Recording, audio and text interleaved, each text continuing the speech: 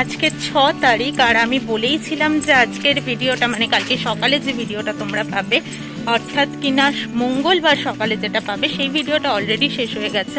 এখন থেকে যেটা শুরু করছি, সেটা তোমরা বুধবার সকালে দেখতে পাবে।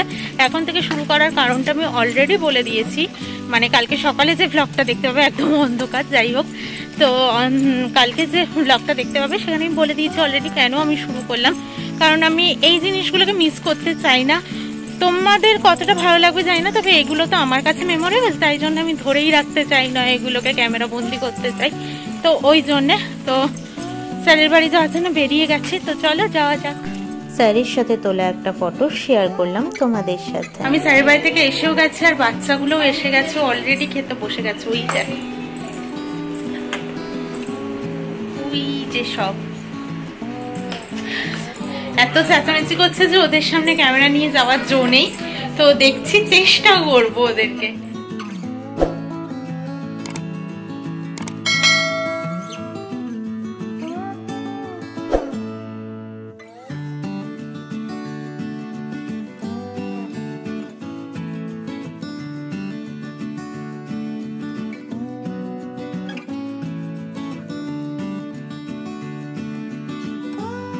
মর্নিং আমি দেবলিনা, আমার ঘরে বাইরেতে সবাইকে জানাই স্বাগত। আশা করি সবাই ভালো আছো, সুস্থ আছে এবং স্বাভাবিক আছে। আমি তো ভালোই আছি, দেখতেই পাচ্ছ।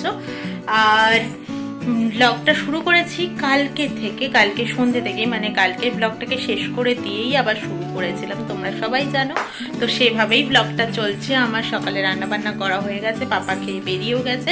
তো চলো তোমাদেরকে রান্নাটা আজকে দেখে দিই। আজকে রান্নাটা আমিই করেছি, কারণ সকাল থেকে আজকে বাড়িতে প্রচুর কাজ ছিল। কারণটা হচ্ছে কালকে বাচ্চাগুলোকে খাওয়া দাওয়া করানো হয়েছিল, তারপর বিরিয়ানিটা বানানো হয়েছিল যার জন্যে।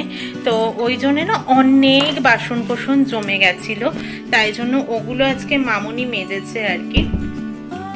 তো আর ঘর ঠর মোছা, তারপর অনেক জামা কাপড় বেঁধানো ছিল, ওইগুলো আজকে কেচেছে। কালকে ওয়াশিং মেশিন চালানো হয়েছিল আর আজকে কারেন্ট ছিল না সকাল থেকে সেরকম, তো মানে যাচ্ছিল, আসছিল ওরকম একটু হচ্ছিল আর কি।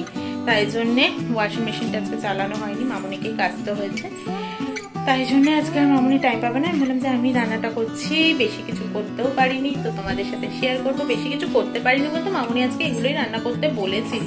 সকালে বাঁধাকপি কেটে রান্না করাটা খুবই চাপের ব্যাপার থাকে আর। যেহেতু আমি খুব তাড়াতাড়ি স্পিডে কাটতে পারি না, এমনি ভালো কুচি কুচি করতে পারি না, তারপর যদি স্পিডে কাটি তাহলে তো আরোই হয়ে গেল। প্রেশার কুকারে বোধহয় দশটা সিটি মারতে হবে ওকে। তো ওই জন্যে একটু কমই রান্না বান্না হয়েছে আজকে। তো চলো তোমরা দেখে নাও কি রান্না করেছি আজকে।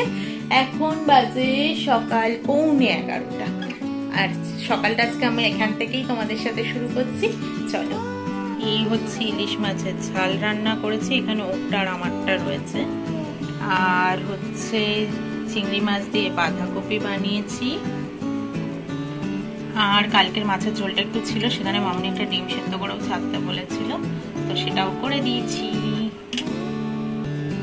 আর এই হয়েছে রুটি, আর এখানে হয়েছে ভাত। এই আজকে রান্না, আমি সকাল থেকে সকালে তোমাদেরকে রান্না করা দেখিয়েছিলাম মানে কি কি রান্না করেছি সেটা দেখিয়েছিলাম। তারপর আর তোমাদের কাছে আসাই হয়নি। গলা শুনে বুঝতেই পারছ যে একটা ঘুম দিয়েছি, কিন্তু ঘুমটা আরও যেন হতো আর কি সূত্রে এসে পায়ে খোঁজ ও কোনোদিন এরকম পড়ে না, জানি না আজকে কেন এরকম করছিল, বোধহয় তুমি শিখিয়ে দিয়েছিলে না? হ্যাঁ। ও শিখিয়ে দিয়েছিল বলেই আজকে করেছে আর কি। ওই জন্য আজকে উঠে গেছি ঘুম থেকে। কেন ঘুমটা কাটছিল না জানি না, এরকম নয় যে এক ঘণ্টা ঘুমিয়েছি বা কিছু, অনেকক্ষণ ঘুমিয়েছি, তারপরেও ঘুমটা কাটছিল না। আজকে সেরকম কিছু করিনি, সারাদিন যে দেখাবো বা কিছু একটু ল্যাদ খেয়েছি বলতে পারো। রান্নার পর তো সেরকম কিছু কাজ আর ছিল না, স্নান দান করে এসে তারপর খাওয়া দাওয়া করে নিয়েছিলাম। তারপর তো ঘুমিয়েই পড়েছি, সারাদিন আর তেমন কিছু করিনি যে তোমাদেরকে দেখাবো বা কিছু। আর পাশের বাড়ির আন্টি দিয়েছিল পুঁই শাক, দিয়েছে, কবে দিল? দিয়েছে একদিন, দুদিন আগে, একদিন আগেই দিয়েছে। তো আজকে রান্না করব ভেবেছিলাম, কিন্তু আর করা হয়নি। মাম্মি বলল যে কালকে রান্না করতে, তো ওই জন্য আজকে রাতে কেটে রাখব ভাবছি। দুপুরবেলা কাটবো ভেবেছিলাম, কিন্তু দুপুরে আর ইচ্ছে করেনি কাটতে। ঘরটার মানে ওই জামা কাপড়গুলো চেয়ারটার ওপরে ছিল, ওগুলোকে ভাজ করে আজকে গুছিয়ে দিয়েছি, আলমারিটা যদিও গোছানো নেই। দেখি তোমাদের সাথে একদিন আমার কিছু শাড়ি দেখানোর ইচ্ছে আছে। তোমাদেরকে সেই দিনকেই একেবারে গুছিয়ে ফেলব, ঠিক করেছি।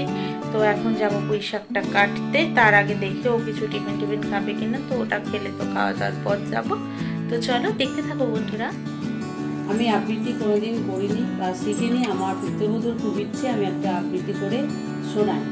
সেই জন্য আজকে বিশ্বকবি রবীন্দ্রনাথ ঠাকুরের আমি কবিতাটি আবৃত্তি করে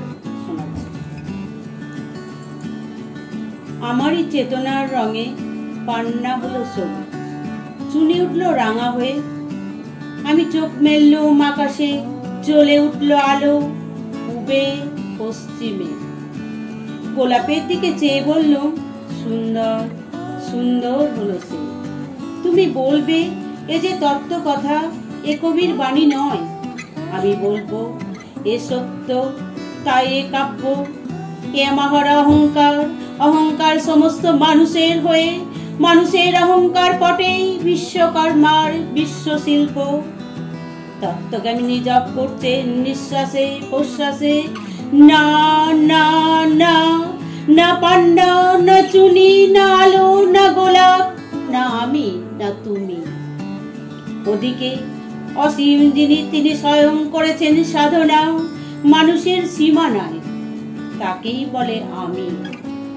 সেই আমির গহনে আলো আধারের ঘটল সংগ্রাম দেখা দিল রূপ, জেগে উঠল রস।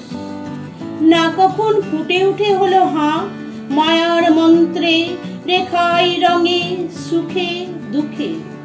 একে বলো না তত্ত্ব, আমার মন হয়েছে পুলকিত। বিশ্ব আমি রচনার আসরে, হাতে নিয়ে তুলি, পাত্রে নিয়ে রং।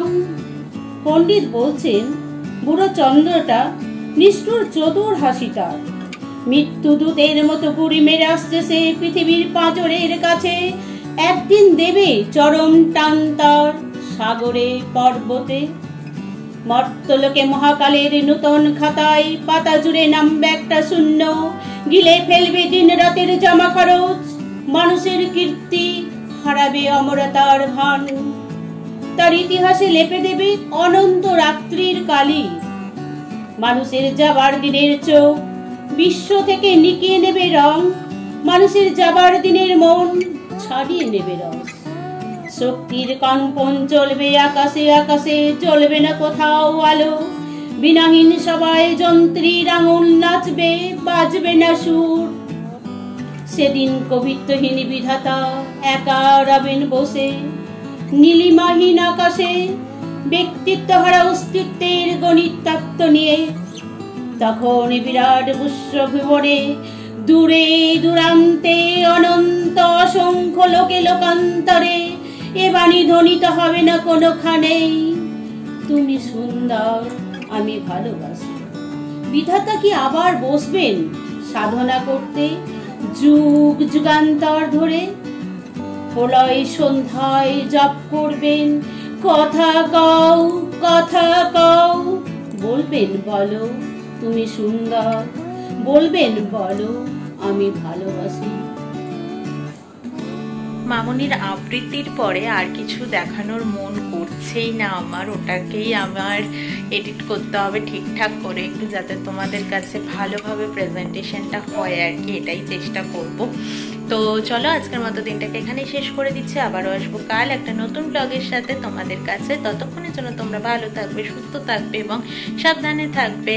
আর যদি কোনো নতুন বন্ধু আজকে আমার চ্যানেলে এসে থাকো, তাহলে কমেন্ট করো লাইক করো শেয়ার করো। আর যারা অলরেডি আমার পাশে আছো, তারা তো আছোই পাশে। আমাকে রোজ রোজ সাহস দিচ্ছ, আমাকে এগিয়ে যেতে সাহায্য করছ। তো এভাবেই পাশে থেকো লাইক করো শেয়ার করো কমেন্ট করো। আর নতুন বন্ধুরা যারা আসবে, তাদের যদি ভালো লেগে থাকে, তাহলে সাবস্ক্রাইবও করে দিও। তো চলো মতো টাটা গুড নাইট।